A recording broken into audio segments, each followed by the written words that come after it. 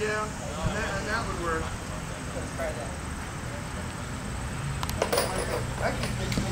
anyone have a pipe wrench? Does anyone have a pipe wrench? That'll, uh,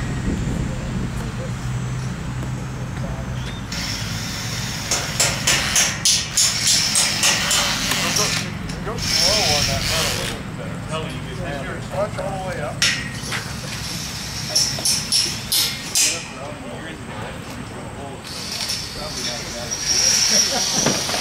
It's just like this, they come up with a section over there and they're four feet too short.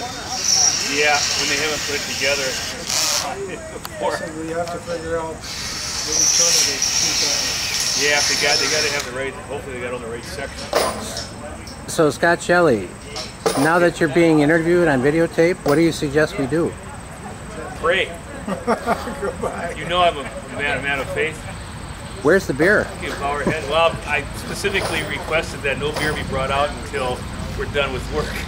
That makes sense. Until the power tools are put away. Right, well, some people sit around and talk and drink all the good beer. They do that too, yeah. Beer left. The workers get the rat, rotten stuff.